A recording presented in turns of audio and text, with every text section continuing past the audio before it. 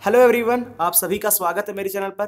Friends मैं आपको इस वीडियो में इविंग क्रिश्चियन कॉलेज के काउंसलिंग प्रोसेस स्टेप वन से लेके लास्ट स्टेप तक स्टेप वाइज अच्छे से बताऊँगा और एडमिशन उसके शुरू होने वाले हैं। कल से आपकी काउंसलिंग शुरू होगी तो सारी डिटेल मैं आपको स्टेप वाइज पहले बता दूँगा। फिर उसके बाद जो उनका ऑफिशियल नोटिफिकेशन है, उसमें जैसे स्टेप लिखा है, वो भी समझाऊँगा कि कैसे आपका प्रोसीजर आपका प्रोसीड होगा।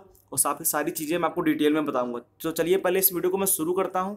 तो देखिए, सबसे पहला स्टेप वन ऑनलाइन रजिस्ट्रेशन होगा, जो कि आपका कल से होगा। इस ऑनलाइन रजिस्ट्रेशन में क्या करना होगा, आपको पोर्टल पे जाना होगा, वहाँ पे लॉगिन करना होगा अपना, और जो भी रिक्वायरमेंट्स वहाँ पे फिल करने को आपको फिल करेंगे, तब आपका लॉगिन होगा। आप, अगर आपसे नहीं होता है तो आप किसी भी लोकल साइबर कैफ़े या फिर किसी भी साइबर कैफ़े जाएँगे तो वो ऑनलाइन काउंसलिंग पोर्टल खुला होगा, वो बहुत आराम से कर देंगे। आप खुद कर सकते हैं तो अच्छी बात है। स्टेप टू देखिए सब्जेक्ट चॉइस फिलिंग आपको अपना वहाँ पे जो आपको सब्जेक्ट पसंद है, आपकी choice filling preference wise step सबसे पहले ज़्यादा ये पसंद है स्टेप टू पे ये पसंद है थ्री पे ये पसंद है तो आप प्रेफरेंस वाइज को फिलअप करके लॉक कर देंगे। और एक और चीज़ यहाँ पे नई चीज़ है कि लॉक करते ही आपको फ़ी पेमेंट तुरंत करना है। ये इनका इनका पर्सनल रूल है क्योंकि इनका कॉलेज है। तो इनके कुछ रूल है तो इनको फ़ी पेमेंट आपको तुरंत करना है उसी वक्त। ठीक? और अगला होता है डॉक्यूमेंट वेरिफिकेशन स्टेप फोर फिर ये डॉक्यूमेंट वेरिफिकेशन आपका ईसीसी के हॉल में होगा। वहाँ पे आपको कैंपस में जाना होगा, वहाँ पे आपका डॉक्यूमेंट वेरिफिकेशन होगा, ठीक? और फिर इसका स्टेप फाइव पे आपका फाइनल एडमिशन होगा। वहाँ पे आपको सब्जेक्ट अगर आपको कॉम्बिनेशन आपको पसंद आया, आपको आपको वो मिल रहा है, आप उसमें फ़ी पेमेंट कर ही चुके हैं, आप फाइनल एडमिशन ले लोगे, ठीक? अब मैं आपको दिखाता हूँ जो ऑफिशियल नोटिफिकेशन है, उसमें स्टेप वाइज कैसे दिया है। तो मैंने आपको थोड़ा सरल करने के लिए शुरुआत में स्टेप वाइज बताया। अब मैं आपको अच्छे समझाता हूँ कि कैसे प्रोसीडिंग आगे बढ़ेगी।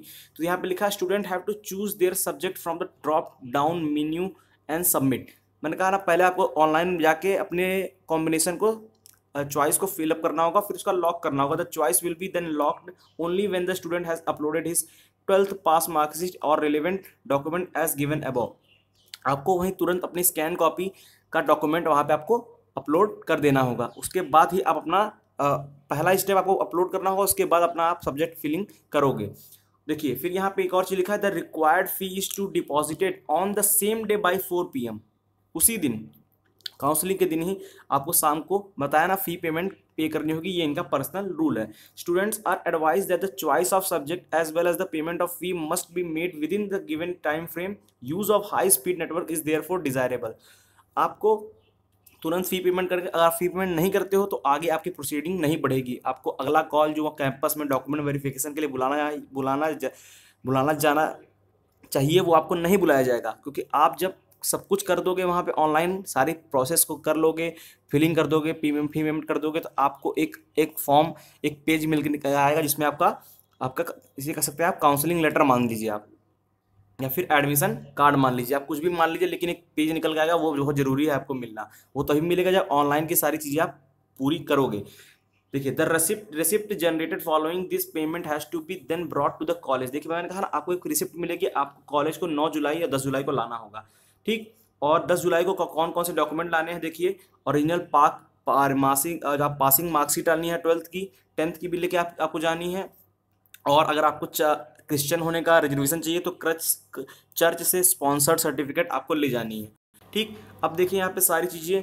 The verification of all B A student will take place in the Tucker Hall at ten AM मैंने कहा वहाँ पे सारा आपका वेरिफिकेशन होगा। और यहाँ पे लिखा है student who can not produce the original document will have their admission cancelled आपको जो डॉक्यूमेंट बुलाया गया वो सारे डॉक्यूमेंट आपको ले जानी है।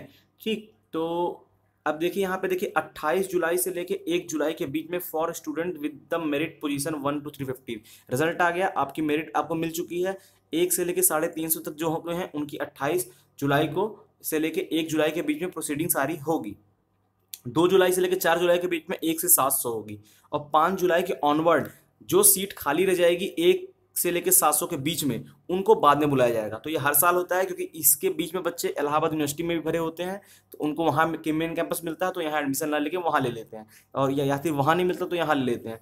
तो एक से लेकर सात सौ जो सीट खाली होगी उसके लिए पाँच के बाद ऑनवर्ड आपका सारी प्रोसीडिंग पूरी होगी। तो आई होप आपको ये पूरा वीडियो समझ में आया होगा सारी काउंसलिंग प्रोसेस मैंने अच्छे समझाया होगी। अगर आपको कोई और प्रॉब्लम है नहीं समझ में आ रही है तो आप कमेंट करिए। इसके अलावा अगर आपको कोई चीज़ मुझे लगता है कि आपने सही चीज़ पूछिए तो मैं तुरंत उसका रिप्लाई दे दूँगा और मैं हमेशा करता हूँ रिप्लाई तो प्लीज़ इस वीडियो को लाइक कर दीजिए अगर आपको सारे स्टेप समझ में आ गया हो।